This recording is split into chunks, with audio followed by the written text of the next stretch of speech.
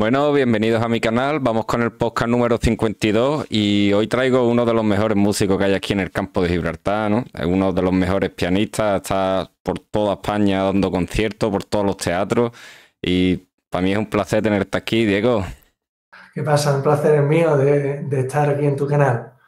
¿Qué tal? ¿Cómo está? ¿Cómo ha ido la Semana Santa? Pues pasado por agua. Al final el único que ha salido como el del chiste, ¿no? Dani Arbe. Sí, lo he, visto, lo he visto hoy precisamente, la ocurrencia de la gente. ¿eh? Oh, chiquillo, de todo tienes que sacar un chiste, ¿eh? Hasta de las cosas malas, pero bueno. por ahí. No, pero bueno, eso, es bueno. Eso quiere que no es sacar el humor y sacar una sonrisa de algo que no, no es algo agradable, pues mira, al final pues le dan la vuelta y, ¿qué vamos a hacer? ¿no? Es algo al final positivo. Lo que pues se saca, ¿no? Negativo. Eh, Diego Bardivia, que bueno, habrá muchísima gente ya de aquí que lo conozca, ¿no? Es un pedazo de pianista. Pero Diego, para la gente que no te conoce, eh, ¿cómo fueron tus comienzos en la música? ¿Tú vienes de una familia de músicos y eso? ¿Has salido solamente tú el músico? Pues mira, mi familia, yo es que vivía en la calle Las Huertas, ¿vale? Lo que hoy en día es el barrio de la Caridad. Y allí, eh, antiguamente, hace muchos años, estaba el Conservatorio Paco de Lucía lo tenía justo al lado. Entonces mi hermano empezó a estudiar música, que de hecho hizo después el grado medio, el superior en Sevilla, y, yo entré, creo que fue un año después de mi hermana. Mi hermana lo dejó y yo seguí. Y bueno, seguí, hice, lo que había en su día, que era el conservatorio del grado elemental, no había otra cosa, era, es una pena, pero toda mi generación pues tuvo ese problema. Ya los que eran un poco más jóvenes pues tuvieron la suerte de, continuar con el grado medio, pero claro, antiguamente no había grado medio por aquí por la zona. Creo que te tenías que ir a la línea. Y claro, yo era, tenía 12 años, era pequeño, no, la línea de autobuses que había en aquella época pues no es la que había ahí hoy en día, como, como es normal. Y bueno, pues al final no pude, pero eh, tuve la suerte de que, como te he dicho antes, te he mencionado a mi hermano, eh, hizo la superior ahí en el medio superior en Sevilla y bueno, pues cuando tenía, lo tenía en mi casa y, cada vez que tenía duda de algo, pues le preguntaba, ¿no? Y me puse a componer, me puse a componer, pero bueno, era algo para mí porque yo estudié ingeniería, yo estudié ingeniería de obras públicas y después de caminos, ingeniería superior de caminos en Madrid, que ya no hay tampoco, ya, yo soy ya de los antiguos, yo me voy haciendo mayor, Darío. Eh, tampoco eres tan mayor, ¿eh? ¿Cuántos años me sacas? Cinco por ahí nomás, ¿no? Dos, dos, tres nomás. Tú tienes 20, 23, ¿no? Eh, eh, eso quisiera yo, tener 23 otra vez. pues nada, estuvimos, estuve, hice la superior porque cuando estuve en Madrid fue los dos años que me distancié del piano, digamos, por así decirlo.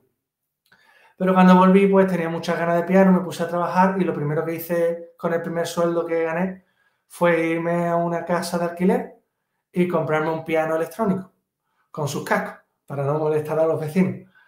Y bueno, estuve viviendo allí en la Plaza Neda eh, y empecé a tocar. Algunas veces se me olvidaban los cascos y bueno, pues los vecinos lo escuchaban. ¿Qué ocurre?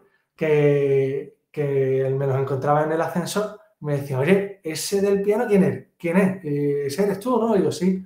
Y yo pensaba, yo decía así con la boquita pequeña porque digo, me van a... Te van a reñir. Y me decía, oh, pues qué cosa más bonita, ¿y eso de quién es? Y yo, pues, oh, pues, pues, ¿es de alguna película? De alguna? Y yo, no, es, mío. Ah, ¿qué es tuyo? ¿Qué? Total, que después estuve viviendo en otros dos sitios más de alquiler. Me fui a Bella de Rosario, después estuve también en otro sitio de aquí por Algeciras. Y también me ocurrió lo mismo. Entonces, bueno, pues como la vida sigue una vez, dije, aunque sea para mí, ¿no? Porque yo tenía un pánico escénico eh, increíble. Ahora, te voy a preguntar sobre eso, porque has subido un vídeo hace poco también. Me fui a Málaga, me fui a Málaga con un colega al estudio, eh, no me acuerdo cuál era, tío, estaba al lado de la tabacalera, que ya he, tocado el año pasado, que es la Plaza de la Tabacalera en Málaga, que, cosa más bonita, tío, la verdad que fue un concertazo. Y la cosa es que estuve ahí en ese estudio que era el estudio donde eran de los músicos del grupo de Chambao. No sé si te acuerdas tú del grupo Chambao. Pues toda, esa gente, eran todos todo Y se lo enseñé y me dijeron, ¿qué yo quedado en, cuando se lo enseñaste a los músicos de Chambao. Sí, nada, y bueno, lo escucharon y me dijeron, mira, esto está de puta madre, me dijeron. le digo, bueno, pues yo no sabía, yo lo veía escuchándolo, digo, era tú que no le vas no sé si les va a gustar, no sé si... Total, que esto tienes que publicarlo como sea y demás. Y bueno, pues ya está. Le conté mi situación. Le dije, mira, yo lo que pasa es que no puedo grabar aquí, que es que eh, yo vivo en Algeciras, esto lo quiero algo como para mí, ¿no? Que no es algo de lo que en un principio yo quiera sacarle partido, sino de algo para mí, un regalo para mí, de mi música, escucharla y... No, pues esto te conozco yo a una, serie de gente en Algeciras y entonces me pusieron en contacto con Daniel Venezuela y ahí fue ya cuando conocí a, mi gran amigo Dani, el de Afina tu guitarra, el youtuber. ahora, ahora te iba a preguntar también por Dani, eh, pero bueno, como has tocado varias cositas, lo primero que te quiero preguntar es eso, ¿no? Que has estado nombrando de que eres ingeniero, ingeniero de camino. Eh, me imagino que de lunes a viernes estás dedicado a, tu trabajo y después los fines de semana, todos los días viajando, actuando. ¿Qué, es lo más difícil de ser músico, Diego? Eh, ¿Cómo, cómo? ¿Qué es lo más difícil para ti de ser músico? Eh, bueno, de ser músico, yo es que estoy tomando una rama muy, creo que bastante complicada, que es intentar vivir directamente de, los conciertos, de los conciertos de la, música, ¿no? Entonces, sé que hay otras ramas que son las de grabación. Yo las versiones que estoy haciendo las estoy también sacando en partitura, lo que pasa es que tampoco le estoy dando mucho bombo ni me estoy centrando mucho en eso, pero poco a poco quiero plantear todas esas líneas de negocio, ¿vale? ¿Para qué? Para que al final esa música llegue a la gente, ¿no? Porque al final es tontería, ya no es por dinero, sino por mantenerlo. Lo que pasa es que todo tiene que tener un valor, tú no puedes regalar las cosas, eso tampoco es así, porque si no valoras tú mismo tu propio trabajo, no te lo van a valorar los demás. Pero la verdad que yo me siento muy valorado, ¿eh? Eh, estoy teniendo muchísimos conciertos, es una locura. O sea, no sé si has visto el mapa, yo tengo un mapa, a mí me encanta, un mapa en el que tengo todos los sitios donde he tocado de Andalucía. Las ciudades que ha conquistado. Claro, también hemos estado en Emiratos Árabes, en Turquía, en Madrid, ahora vamos a la zona de Madrid también, Extremadura, pero eh, lo tengo como centrado en Andalucía, porque me encanta de cómo vamos, y además vas ampliando y van saliendo más chinchetas, y además que tú le das a la chincheta y ponemos estado tres veces, hemos estado en 2017, 2020, 2022, o sea que tú ves el mapa lleno de chinchetas y, y es que hay más todavía. La verdad que llevamos, yo no sé si llevamos más de 500 conciertos ya eh, en estos años y con una pandemia de por medio, entonces no, no, nos podemos quejar. Yo ahora mismo, por ejemplo, he invertido en un furgón, estoy contento porque me he comprado un furgón, una Mercedes Vito, y lo voy a rotular, ¿no? Para cuando vayamos por ahí. Qué guay, tío. Digo, Libia, negra, así. Y, y, ya llevamos cargados los instrumentos, no hay que ni que descargarlo, ni que eso también ganamos mucho más comodidad y vamos todos juntos de seis plazas con carga, porque así podemos ir. Tú piensas que yo los formatos más habituales que llevo es o el trío o el quinteto, pero para el trío somos cinco personas, fíjate, y para el quinteto somos seis, porque es el trío sobre el escenario, pero detrás hay dos personas más, y en el quinteto sobre, cinco sobre el escenario, pero detrás hay uno, una persona más. Entonces, eh, lo tenemos planteado de esa forma. Así que Cuéntame, que yo me pongo aquí a hablar. habla, habla. Yo, por ejemplo, yo he tenido la suerte de estar en conciertos tuyos y la verdad que es un espectáculo, tío. Es muy bonito todo, la puesta en escena, cómo sonáis, como todo. la gente, da igual que sea un pueblo pequeñito o una capital de país, la gente en pie pidiendo otra, una locura.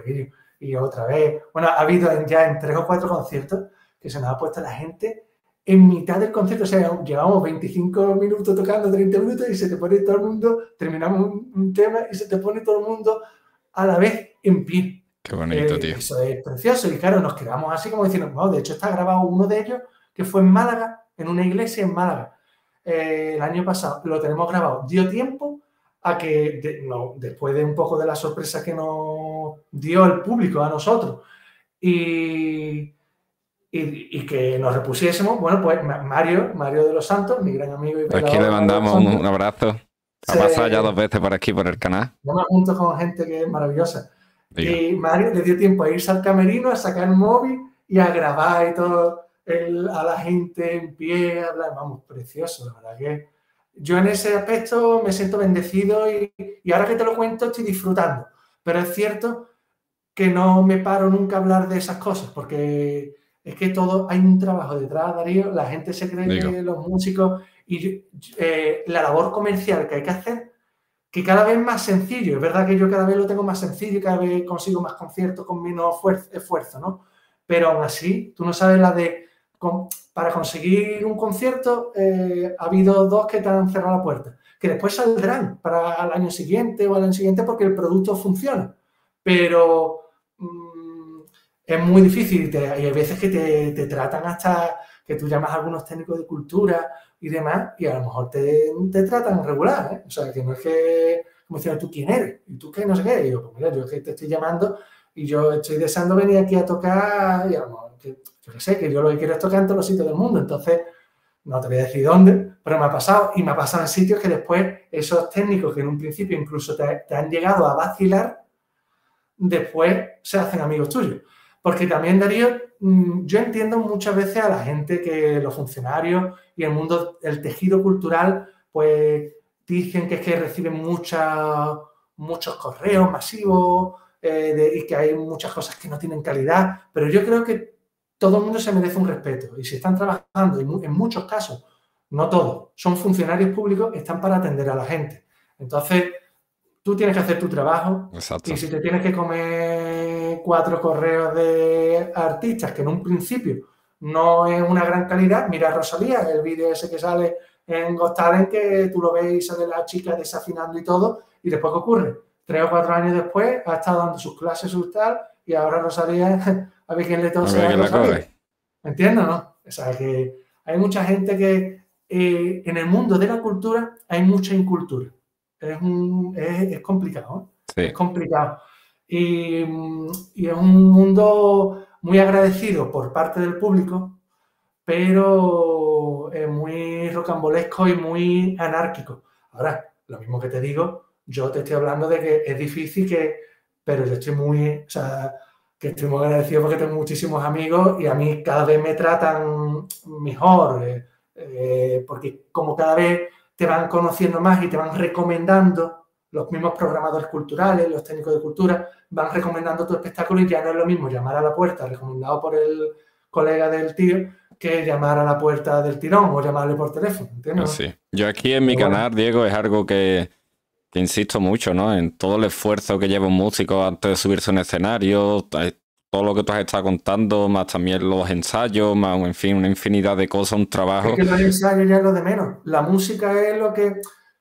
Yo hago la música que a mí me sale, ¿no? Entonces, al final es una práctica diaria o casi diaria y hablar con Dani, hablar con Mario, organizar un poco los arreglos, organizar con las cuerdas y demás.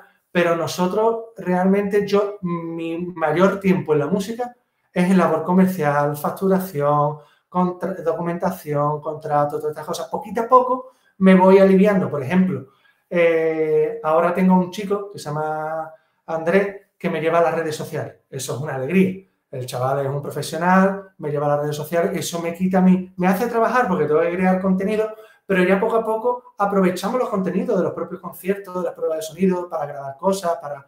Entonces ya poco a poco va caminando y va funcionando el tema de las redes. El tema de la documentación, bueno, pues poco a poco, más adelante, pues cuando consiga ya sentarme los 60, 70, 80 conciertos anuales garantizados, pues probablemente ya fiche a alguien para que me lleve, sobre todo en la época más fuerte, pues el tema de la, de la documentación, ¿sabes? Para librarme, porque ya es solo el pagar a los músicos, tú imagínate, al final de mes yo tengo que decir, venga, a ti tanto, a ti tanto, a ti tanto, porque no todos vienen a todos los conciertos. Cada uno viene a un concierto, cada uno viene tal. Los gastos de ir ahora, que vamos a Córdoba, pero de Córdoba volvemos y paramos en Málaga. Y ya nos quedamos a dormir. Pero claro, ahora el Málaga es un formato que quinteto. Algunas veces, por ejemplo, viene también Laura, la hermana de India Martínez, que viene bailando danza de vientre, me la llevo también conmigo. Pues claro, ella va por su lado desde Sevilla para tal, pero yo tengo que estar pendiente de todos los costes, de, para después los cachés, de que no... Te hace falta un manager, Diego. sí, no, bueno, manager, lo que me hace falta es un alguien de administración, realmente, más que un manager. Porque manager ya van saliendo los conciertos, ya van, bueno, siempre hace falta, pero ahora mismo me hace falta más eso que lo otro, ¿sabes? Eh, estamos ahora en la, estoy en la red andaluza de teatro y este año un pelotazo. Estoy en la, en Planeamos, Diputación de Cádiz, que llevamos muchos años siendo los más, los más seleccionados, como cada año en la, en todo, vamos, en todas las modalidades. ahora esperamos entrar en Culturama, que es la provincia de Málaga. Yo en Málaga me moví muy bien, pero que eso se supone que me va a dar más conciertos todavía y poder llegar a pueblos que no llevar la cultura a esos pueblos pequeñitos que no tienen presupuestos, ¿no? Eh, y que nos tratan tan bien, ¿no? después también estamos en Córdoba, la Diputación de Córdoba, la Red de Teatro de Extremadura, la Red de Teatro de Madrid. y ahora me tienen que dar muchos conciertos, confío en que me den muchos conciertos, cruzo los dedos, de que haya suerte, mm. para Málaga y para, para Córdoba y para Extremadura. Y, la segunda ventana de la Red Andaluza de Teatro. Y ya tengo, no sé cuántos conciertos tengo ya. ya, un viaje, porque yo te sigo por las redes, estoy viendo y no para, ¿eh? Sí, no paramos. Nosotros la verdad que no paramos. Y después tenemos los sponsors también, que también vamos a hacerle vídeos a, distintos sitios que la gente nos pide. La verdad que es muy agradecido, Darío. Esto es... Tú sabes que esto es poco a poco, que yo realmente empecé con, la, con esto empezamos en 2011. Claro, que es que ya han pasado 13 años. Claro, llevamos 13 años ya, pero sobre los escenarios llevamos menos. Sobre el escenario empezamos en 2016. Yo te quería preguntar, porque antes nombrar temas de cultura, de temas de concejalía y eso, eh, yo es algo, por ejemplo, a Farruquito se lo pregunté también en uno de los podcasts antiguos. ¿Qué crees tú, Diego, que a nivel de ayuntamiento, política, más bien política, ¿no? Eh, se podría hacer para ayudar a los músicos, a los artistas y defender un poco más la cultura? Porque, por ejemplo, te voy a poner un ejemplo. Pasamos la pandemia, ¿no? Y en pandemia todo el mundo escucha música, en todos los partidos políticos van con música, sus eventos, tal, pero después nadie se acordó de los músicos ni de los cantantes y francamente lo pasaron muy mal, ¿eh? Yo estoy, yo que puedo decirte hablarte del gremio de la construcción, la ingeniería y la, y la cultura, sí, todos los gremios sufrieron, pero la cultura es que pasó al 0%. Nosotros teníamos aproximadamente unos 60 conciertos en 2020 y pasamos a cero, o sea, a cero. No es que tú digas, no es que pasamos al 50%, hacemos un ERTE y, entonces la gente trabaja al 75%, al 40%, no, no, al cero. O sea, pasa, se pasó al cero. Vamos, menos mal que yo tenía lo de la, lo de, tengo lo de la ingeniería. Por eso también lo estoy aguantando más y mientras que lo pueda compaginar, que eso me ralentiza un poquito lo de la música. Bueno, la música sigue subiendo y vamos, y vamos bien. Creo. Así que la cultura es un mundo eh, muy complicado porque aunque yo sé que no es esencial de primera necesidad, como se le dice en, situaciones, pero, pero es que es como, según como lo veas. ¿Sabes lo que te decir? Eh, la música lleva con nosotros desde la antigüedad. Al final, los, seres humanos necesitan música. La civilización empieza y ya solamente las formas de construcción es cultura. Los estilos arquitectónicos del, paleolítico, el neolítico, todas estas cosas, la pintura rupestre, el sonido.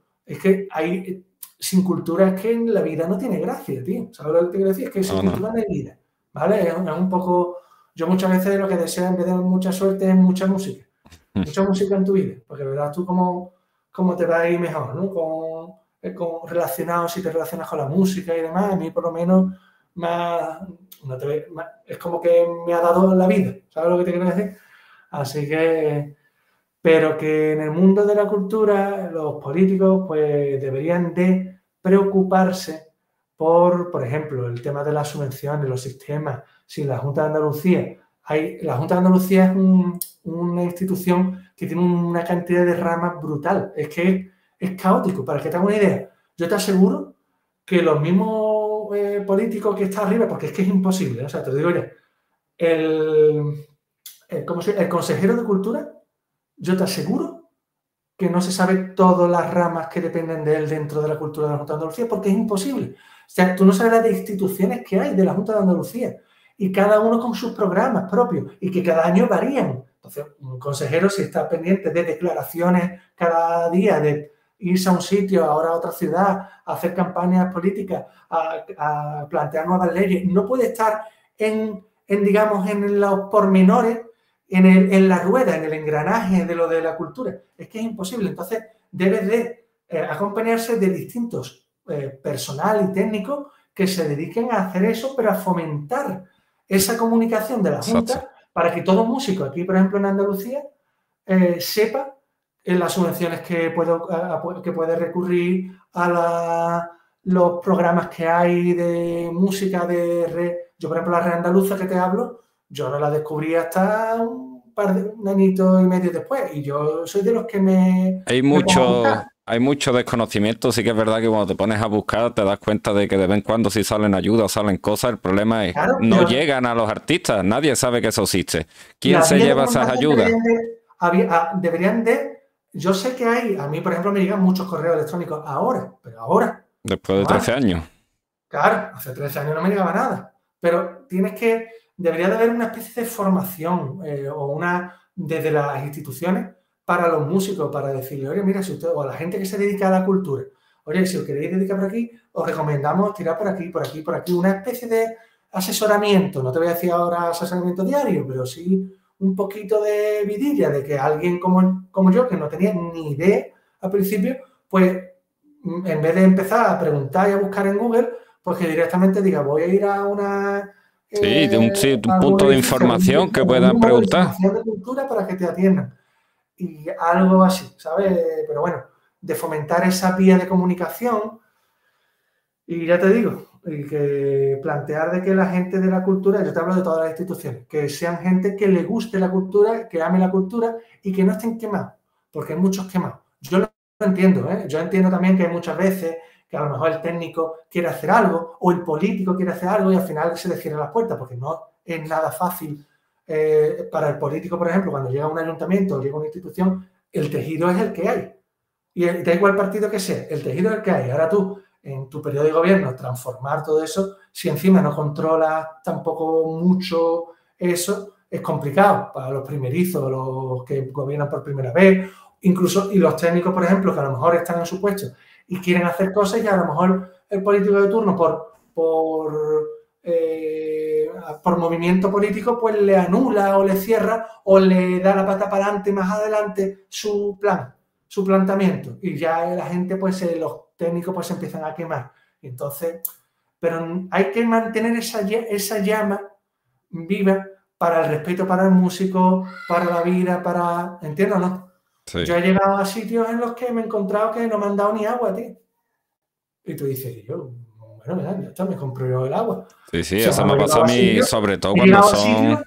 ha llegado a sitios que, te, que me han tratado que digo, no, no, esto no me hace falta. O sea, que no... Si yo vengo aquí, nosotros que con, dos con dos botellitas de agua para cada músico y ya está, que tengamos unos camerinos para cambiarnos con luz, eh, cuarto de baño, papel higiénico, espejo para las bailadoras, para maquillaje y todas estas cosas, ¿no? Por ejemplo, para cambiarse y todo.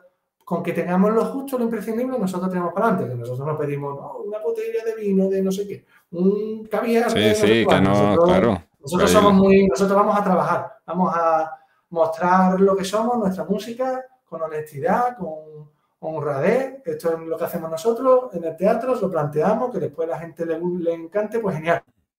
Que luego nosotros, cruzo los dedos, repetimos en todos los sitios a los que vamos, la verdad. Y en los sitios que a lo mejor no nos han tratado, de primeras también, pues, pero no porque no hayan querido, sino porque no tienen medios, no saben, no... O sea, yo hay, yo hay veces que he a sitios que me han dicho, pero Ah, yo pensaba que tú eras el piano solo.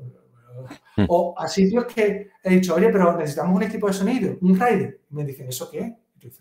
Pues porque no tienen ni idea, entran ahí enchufados porque los pone el amigo detrás y... en teatro y todo, pero gente que está en teatro o gente que está en, el mundo de la cultura. O sea, tú dices, pero ¿tú qué has contratado hasta ahora? Porque un rider que te hace falta. Sí, lo, el, alguno me ha dicho cómo era, me hizo una gracia eh, eh, ¿Cómo es lo de los, los altavoces? No, las bocinas, como lo, de las playas. Cuando quieres hablar. el megáfono. Un, megáfono. Eso, y dice, sí, un megáfono, un megáfono para que suene, mira. Pero eso pasa, digo, porque como todo funciona, todo funciona igual, todo es enchufado, todo es enchufa mi prima, mi amigo. tú, cuando te encuentras algo así, no te puedes enfrentar porque esa persona realmente está ahí y lo que quiere es ayudarte que salga el espectáculo. Claro, pero no tiene ni idea y te pone en un puesto. Claro, no sabe, no. Entonces tú le tienes que pedir, no, no te preocupes, mira, esto es así, esto es muy sencillo, te voy a mandar un documento y cuando tú no te preocupes que nosotros además, yo tengo mi propio técnico de sonido que cuando va, que cuando hable y te pida, que, que no nos hace falta para que nos entendamos. Aunque tú veas el rider, el documento, a lo mejor te pide, vámonos a trasladarlo para la gente que para un coche, a lo mejor te está pidiendo un, un Maserati, pero no, no, no, que con un Renault nos vale, ¿vale? Por así decirlo, y nosotros tiramos para adelante, que no va a haber problema. Ah, vale, vale, sí, ya me quedo más tranquilo, ya me quedo... y después te empiezan a tratar eh, muy bien, y como repetimos, pues la segunda vez que vamos ya es una maravilla, la tercera vez. Yo siempre tengo las primeras veces cuando son pueblecitos, ¿sabes? Pero que no siempre, ¿eh? muchas veces me tratan, te sorprende, te sorprendería. En unos sitios que vamos a un pueblecito que te encuentras un pedazo de festival. Yo me acuerdo, mira, Taberna, Taberna, ¿sabes cuál es Taberna? Taberna es el pueblo del desierto este que hay en Almería, que está lo de ah, Hollywood. Ah, sí, donde está lo de Hollywood, está lo de Hollywood, lo del oeste. Es un pueblo que tiene mucho dinero, lo han hecho muy bien, han ganado mucho dinero con lo de Hollywood, habrán guardado, no sé cómo lo han hecho. es que ahí se han rodado muchas películas, ¿eh? pues tiene un pedazo de castillo, tiene un teatro que no ve, que tiene que entrar más gente que en el pueblo hay, ¿eh? mm. increíble. Bueno, pues el festival, decía el festival en el colegio tal. Y ahora yo vi la programación y digo, uh, pues viene gente fuerte. Cada, cada fin de semana traía gente fuerte. Mira, cuando llegué allí, un equipo de sonido, un equipo de luces, que ni en festivales grandes que hemos ido. Magnífico. De hecho, de las luces, las potencias que iban al cielo y seguían, vamos, 200 metros hacia el cielo. Increíble. El sonido, para que te haga una idea, para que tú, veas, para que tú veas la calidad del sonido, tengo la grabación de, con mi móvil, que me grabó Mario mientras que estábamos haciendo el concierto tocando Sevilla. Pues la subí a YouTube y me lo reconoció directamente en YouTube, porque como la tengo registrada y demás, diciéndome que estaba registrada por el tema de Sevilla, de lo bien que sonaba. claro, no, bueno, sí, también, a ver, estoy muchos músicos, muchos cantantes que no lo saben, pero los conciertos eh, en teoría se, registran, ¿no? Y después te pagan por el concierto. Lo que pasa es que eso... Eso, eso la Claro, eso hace de la GAE y eso aparte después te llegan, te van llegando que yo tengo que reclamar ahora a las GAE un montón de conciertos que también me deben. Pero bueno, poco a poco van soltando. Esto es como esta más de las GAE muy graciosa, porque tú es llamar, escribir un correo y ese trimestre te llega más dinero. Después dejas de llamarle y cada vez te va llegando menos.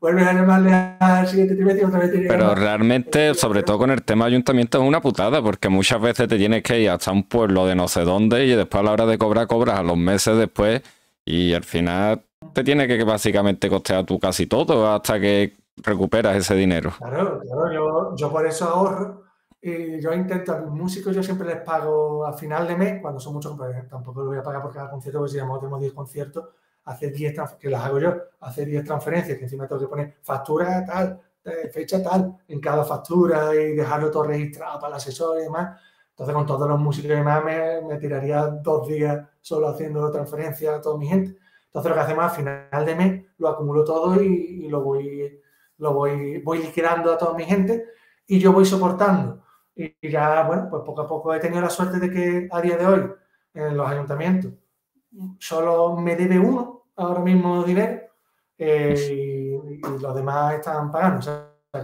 que, bien. Eh, antes nos han nombrado a Daniel Valenzuela. Eh, lo tuvimos por la musicalidad cuando hacía las entrevistas por el blog. Espero tenerlo próximamente por aquí, también por YouTube. Y cuando le hice la entrevista le pregunté por ti y me dijo que Diego Vardivia era su hermano musical. ¿Qué piensas tú de Daniel Valenzuela? Mira, siempre lo digo, es mi hermano musical, yo lo presento. Yo bueno, yo ya en los conciertos digo mi hermano musical, bueno, mi hermano, ya es mi hermano, ya yo lo quiero ya con locura, ese hombre. Y además me da, me da una alegría verlo, lo bien que le va, porque yo cuando empecé con él, él venía de Barcelona y claro, él se había centrado en venirse aquí, claro, se vino aquí a verla venir, entonces no estaba en un momento muy económico muy eh, alto, digamos, por así decirlo. Sin embargo, ahora es una maravilla entre los conciertos, entre las clases online, bueno, el YouTube, que también le va, que también le da un, como un tiro, vamos. le da un salario ya al mes, un sueldo en condiciones, pero es que encima ya lo del online, eso es un pelotazo. Sí, tiene ya más de 600 alumnos online que además ese es el objeto principal del YouTube para llevarlo a, lo de las clases online. Y vamos, el tío está montado en el dólar. También es muy profesional, tío, es muy constante. Eh, es una persona que de verdad que es para mirarla porque no sé, a mí yo me apoyo mucho en él, me gusta muchas veces preguntarle las cosas, saber su opinión, porque el tío es un fenómeno, tío. También fue profesor mío de guitarra, estuve un tiempo con él.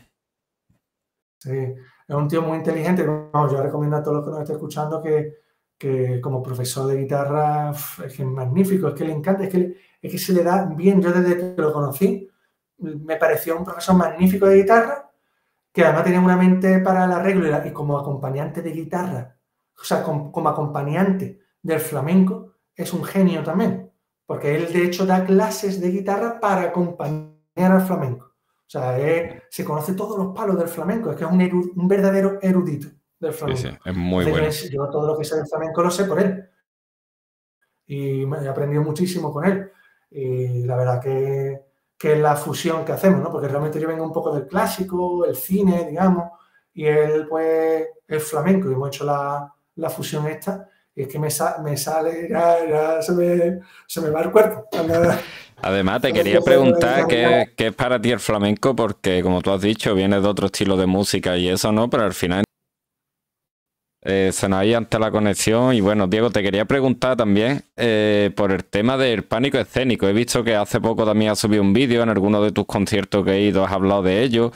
Eh, cuéntanos un poquito, porque seguro que hay muchos músicos, muchos artistas que se van a sentir identificados con eso. ¿Cómo fue tu experiencia?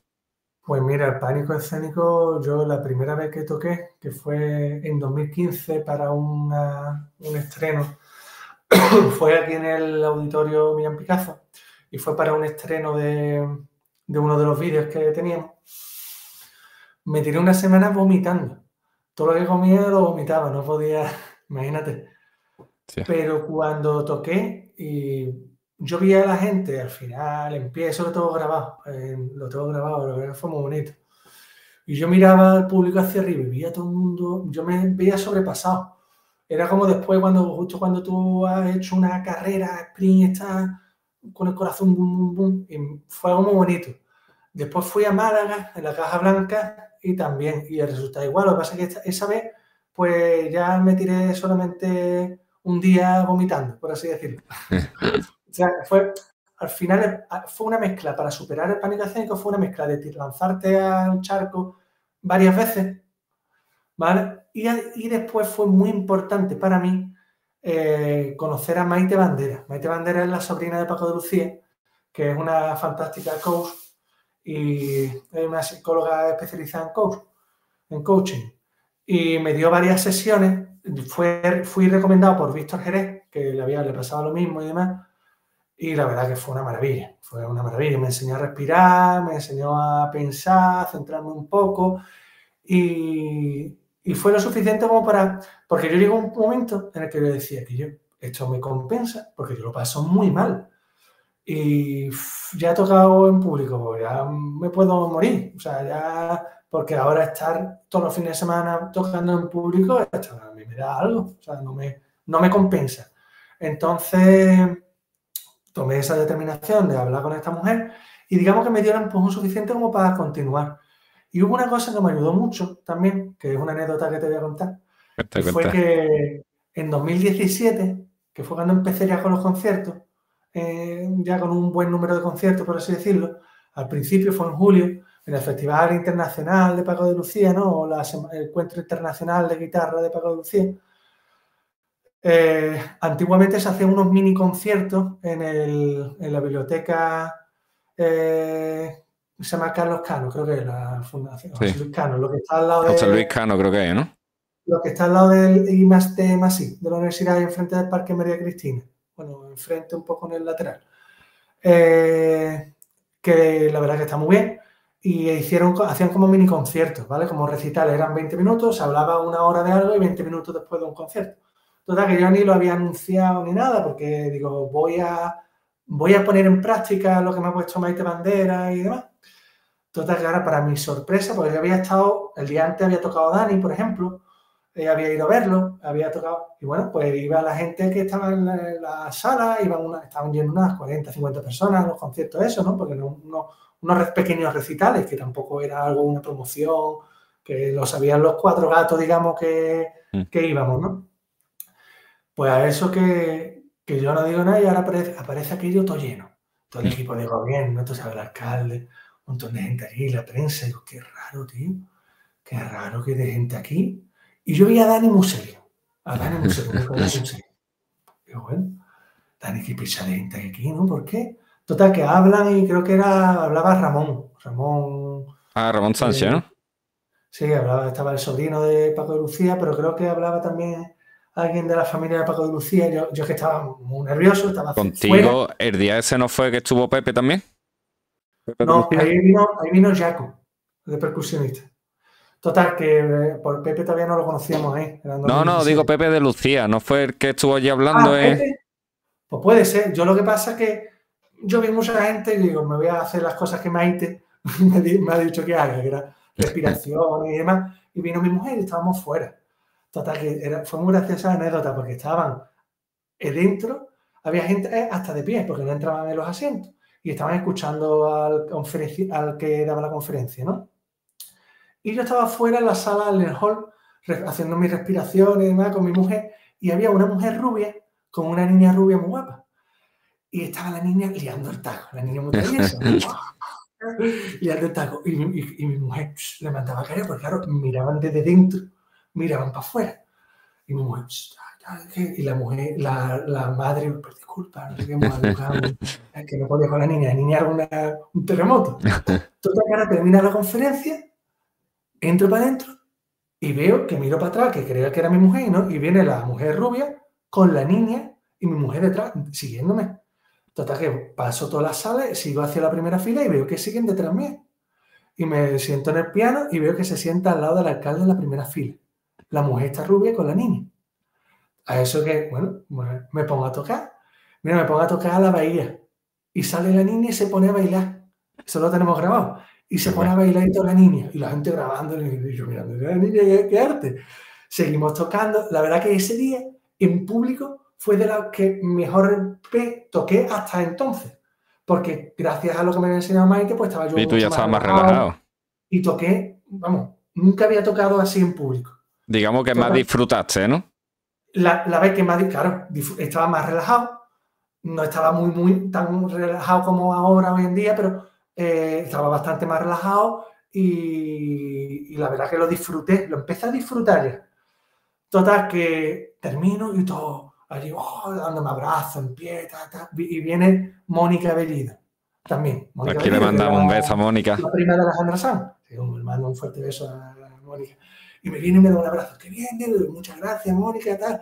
Y digo, oye, eh, digo, ¿has visto a la niña bailando? Qué graciosa. Y me dice, ya, claro, si lo lleva en la sangre. digo, ¿en la sangre? ¿Y eso por qué? Me dijo, porque la, esa es la nieta de Paco. Digo, la nieta de Paco. Y digo, ¿pero de, de qué Paco? Me dice, ¿de quién va a ser? De Paco de Lucía. Y me dice, sí, hostia. Entonces la rubia era la, madre, la hija de Paco de Lucía, mi mujer. Total, que me voy para Dani y digo, Dani, tú sabes que toda esta gente. Tú, sabes que esta era la nieta de Paco Lucía y la rubia era la hija de Paco Lucía. Y me dice, claro, picha.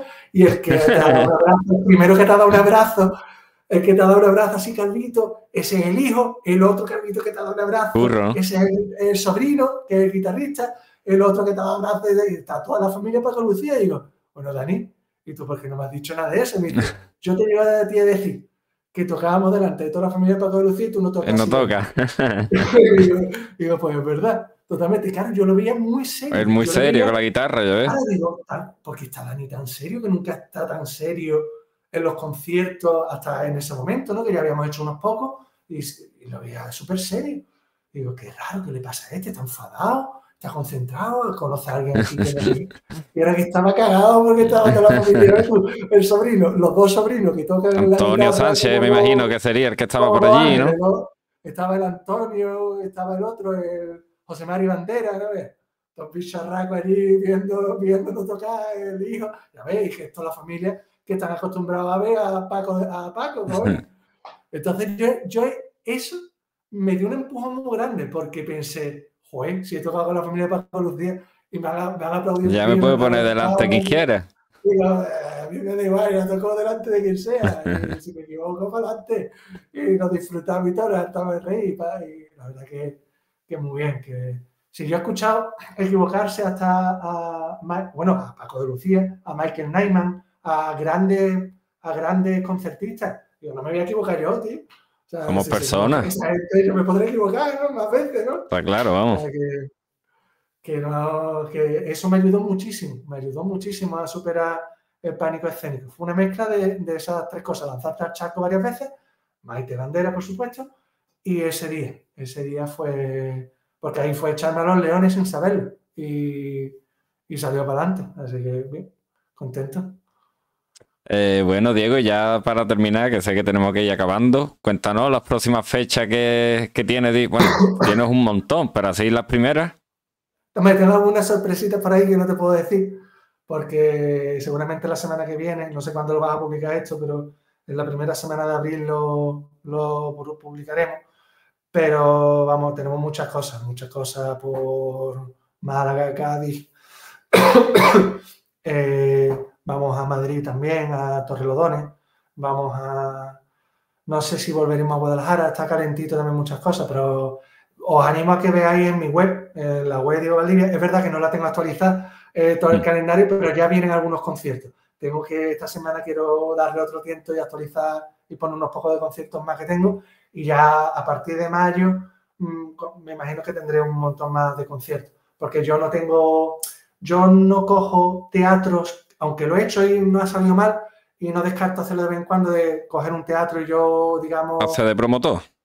Hacer de promotor y, cogerlo y tirar para adelante, que lo he hecho en Sevilla, en Granada, en Algeciras y me ha ido bien, pero en... Eso lo quiero hacer en Madrid. Pero bueno, ah, yo normalmente, digamos que vivo de las redes, las redes que la Red Andaluza de Teatro, la Diputación de Cádiz, la Diputación de Málaga, la Diputación de Córdoba, la Red de Teatro de Extremadura, la Red de Teatro de Madrid y después ya eso te da a conocer mucho a los, programadores. Entonces ya los ayuntamientos pues te van contratando aunque sea fuera de la red. O sea, muchos de ellos son directamente el ayuntamiento el que me contrata y directamente, que no es la Junta de Andalucía o la Diputación, ¿sabes? Que eso es lo bueno, porque ya buscan alguna subvención para alguna fiesta, alguna y ya te meten en las programaciones de los teatros. Y... Hay un sitio, por ejemplo, que me hace mucha ilusión y es que voy a Guadalcacín. Guadalcacín es un pequeño pueblo que hay en Jerez y tiene un pedazo de teatro. Y es que cuando empecé, en 2000, allá por 2016-2017, me hablaron de Guadalcacín y me lo vi y me informé. Tiene un pedazo de programación que es brutal. O sea, es Jerez. Y mm. entonces tienen un gran teatro. Es que donde menos te lo esperas tienen unas grandes infraestructuras. Málaga es impresionante. En Almería, Almería, mira, Málaga tiene buenas infraestructuras. Almería tiene unos equipos de sonido sea, todas las empresas de sonido te ponen lo mejor. O sea, lo que yo te he dicho antes de ellos, los micro te ponen unos, un equipo de sonido increíble en la, zona de Almería, que hemos tocado muchísimo. Y vamos también a Pulpí. El Pulpí es donde está la geoda. La geoda es una cueva eh, de diamante, digamos. ¿vale? eso, no, lo sabía yo. Pues eso, míralo, la geoda de Pulpí, eso es espectacular. Toco, por ejemplo, en la cueva del tesoro, en, en el Rincón de la Victoria voy a por tercera vez a Rincón. Eso es precioso, la Cueva del Tesoro. Míralo por internet. La verdad que los sitios que vamos son chulísimos. Son castillos, ruinas romanas. Qué guay. Yo, yo lo que te puedo decir es que me siento agradecido y bendecido ahora que estoy hablando contigo. Pero que en cuanto cortemos, ya estoy yo. Otra vez liado. La, la labor comercial para Diputación de Córdoba, que eso es esta semana y la semana que viene. Voy a preparar lo de Culturama que tengo que entregarlo voy a preparar tal, no sé qué, y voy a tocar un poquito el piano antes de acostarme para relajarme y, agilizar los dedos porque tengo que hacer varias grabaciones. ¿Cuántas horas ensayas tú el piano, Diego? Mucho menos de lo que me gustaría. Yo realmente no todos los días toco el piano, pero cuando toco, pues toco mínimo tres cuartos de hora. O sea, que me pongo mínimo tres cuartos de hora. Y más o menos una hora y media. Cuando ya se acerca el grueso de los conciertos, toco más, porque necesito, esto es como las maratones de las carreras. Eh, en alguna, alguna vez he notado mm, falta de ensayo y de entreno y entonces he llegado al concierto, al final del concierto, estasiado, porque sobre todo cuando a lo mejor tenemos dos o tres días seguidos y me encuentro al final estoy muerto, porque claro, tú no sé si tú has visto todos los temas, pero hay muchos que metemos caña. Entonces, cuando llegamos al final, que yo, eso de estar todo el tiempo en tensión y pum, pum, pum, pum, y que yo no voy relajado que digo, voy a tocar piano y me pone el piano, ¿no? Que muchas veces llevamos nosotros piano, que yo me lo organizo un poco lo que es el concierto, las horas de donde la prueba de sonido que estamos, tenemos que estar, imagínate, si el concierto es a las 9 de la noche, pues a las 7, a las 6 y media tengo que estar ahí, porque a las 7 es la prueba de sonido. Dos horas antes tengo que hacer la prueba de sonido. O sea, tú siempre tienes que programar. ¿El concierto a qué hora es? A las 9. Pues a las 7 tenemos que estar haciendo la prueba de sonido. Que realmente la prueba tarda una hora, una hora y pico, pero ¿y si hay algún problema? ¿Y, si ¿Y, si después quieres picar algo porque alguien quiera picar algo, un poquito de energía, un poquito que te tienes que vestir también antes del concierto? Eh, para la prueba de sonido, si es a las 7, a las 6 y media tienes que estar allí en el sitio para montar los instrumentos. ¿Sabes? Y si a las 6 y media tienes que estar en el sitio, pues, en el sitio, pues si es en Almería, ¿sabes que tienes que estar 3 horas antes? Tienes que salir de aquí. Y estar 3 horas antes, que quedar media hora antes. Y tienes que salir otra media hora antes de tu casa. Tienes, no, te tienes que planificar todas esas cosas. Y después cansado volver. Claro, comunicárselo a todo el mundo, eh, que no es fácil. Entonces, eh, más o menos cuando hay, cuando he tenido, por ejemplo, festivales en Turquía, que eso viene la tele a grabarlo, son festivales que son de los más importantes del mundo del piano. Yo lo he visto, yo lo he visto. Eso, ahí sí me, ahí sí, encima he tenido, agradecido porque me, han puesto, o sea, las dos veces que he ido a Turquía a ese festival, he ido el segundo sábado. O sea, que cada día es un concierto de un pianista y es que es el día, o sea, digamos... El día fuerte. El día fuerte, el día fuerte y que solo estoy yo. O sea, que, eh, que mi concierto es el día fuerte. Entonces, lo, claro, allí me venden como, ¿sabes? lo que te digo. Yo, por ejemplo, en televisión española no he salido todavía, ¿sabes? Mi música sí, pero yo no. Sin embargo, en la televisión eh, turca principal, sí. Eso te quería preguntar, Diego. Eh, sobre todo con el flamenco pasa mucho, ¿no? Pero también me voy dando cuenta de que al final es con todas las músicas y demás. Eh, ¿Tú te sientes más valorado fuera que en tu propio país? El flamenco, tío, el flamenco está muy valorado fuera. Y, es un mundo en el que el flamenco es un mundo en el que hay que darle una vuelta y hay que aprender a valorarlo y que todo el mundo sepa que la gente, eh, yo tengo amigos y todo, que se creen que el flamenco es cuatro amigos, ah, tocar palma y más. No, no, no. O sea, vamos a ver. Flamenco es riquísimo, riquísimo en percusión, pero riquísimo, o sea, te, voy a decir y que nadie, que estoy seguro que, que no voy a decir ninguna locura. O sea, el jazz armónicamente es muy completo, ¿vale? Pero es que el flamenco en compás, en ritmo, es mucho más completo que el jazz o que el clásico. O sea, todos los ritmos, flamencos, los ritmos flamencos, eso de combinar el ritmo binario con el ternario, que es lo que hace la bulería, que es lo que hace la soleá, que hace lo que esas cosas no están vistas. Tú coges a un músico clásico y no y dices, ¿esto qué es? ¿Sabes? Le parte la mente y le puede gustar o no, pero que es algo que, es muy rico de, y es muy bonito. Y tú lo has visto. Mucha improvisación, improvisación también. Claro, hay mucha improvisación. Yo realmente no soy un erudito del flamenco. O sea, yo todo lo que sé, lo sé por, por mi Mario, por mi Dani. Entonces me estoy preguntando y que nombre, por final algo se pega, ¿no? Por supuesto. Oye, suena que no veas y algo uno va sabiendo, ¿no? Y conociendo. Pero el flamenco es una música que debería estar mucho más valorada. Además, fuera de España, fuera de Un lujo, el lujo. Es Andalucía, pero ojo, que aquí estamos, todo el mundo tuve las noticias y todos te hablan de Barcelona, País Vasco, Madrid, Valencia, ahora de Andalucía no se habla, piche. Que eso yo mm, no lo entiendo y siempre estamos igual para todo, para la infraestructura, para todas las cosas.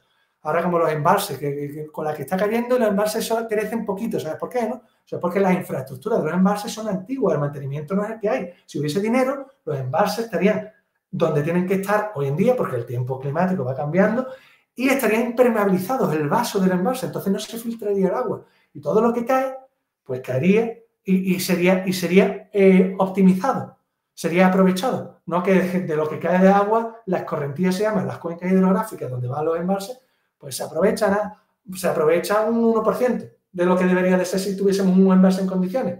Pues Además, para la pues, gente que nos esté viendo de fuera, aquí estamos con restricciones de agua. A partir de las 11 de la noche la cortan.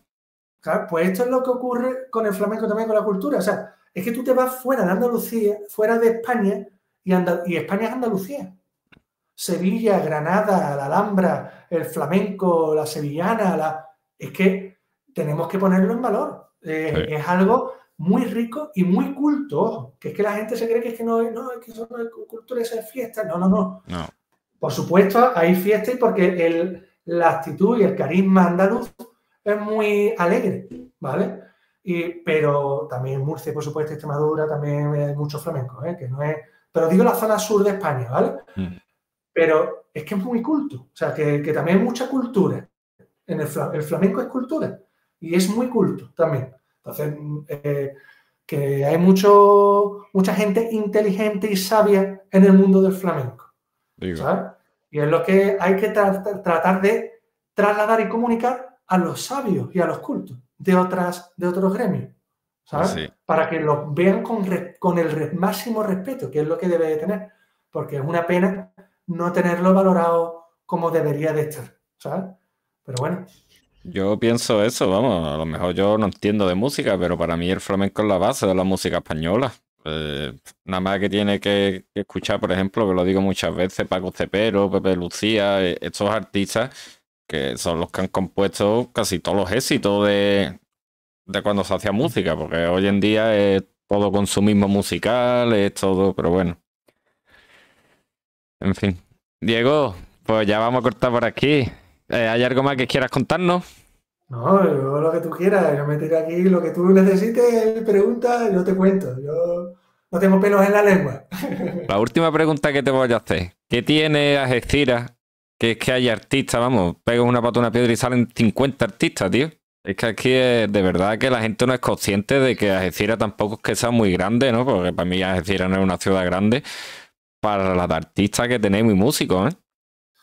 Yo creo que un poco es el clima también, la historia, eh, joder, que aquí ha estado Paco de Lucía, entonces al final ese tío crea escuela, eso es así, eso, es evidente. Y es como si te vas a Viena y a estos sitios, o este, ¿cómo se llama? Budapest, ¿no? Que creo que era donde estaba Liszt. Pues normal que salgan también muchos pianistas allí. Bueno, pues aquí salen muchos flamencos, muchos guitarristas, muchos, muchos músicos. Eh, ahí, por supuesto, yo no es solo aquí en Algeciras, es también en la. Bueno, sí, a poner Campo Gibraltar. Mira, hay una cosa que es muy buena también. El tema de los carnavales. Los carnavales, que es un, algo, una lanza, una punta de lanza en la provincia de Cádiz. Los carnavales al final es una cuna de arte también. De arte callejero, pero es una cuna de arte. Eh, y de ahí salen muchos artistas. Y te relacionan y están muy relacionados también con eh, tiene pinceladas del flamenco, pinceladas de mucho de las jergas antiguas, de cante, y, y eso, quiera que no, también fomenta mucho, aunque haya mucho arte en Cádiz, Es que la provincia de Cádiz es eh, Algeciras, Cádiz, Chiclana, San Fernando, Puerto de Santa María, La Línea, eh, la comarca del Campo de Gibraltar, que te, que te voy a decir. ¿sí? los, carnavales, como tú has nombrado, eh, hay, unas voces que es para estudiarlas, ¿eh? Y, bueno, y, cómo compone. Y tocadores, y la gente, nada más que ya tiene gente tiene que llevar compás, los que llevan las percusiones, los que llevan el tambor, es que al final eso es crear arte por arte. O sea, fíjate, es algo que esta vez, que eso no pasa en Madrid, y no pasa en, fíjate, no pasa ni en Granada, ni en Almería, ni es que es en Cádiz, tío. Eso pasa en Cádiz.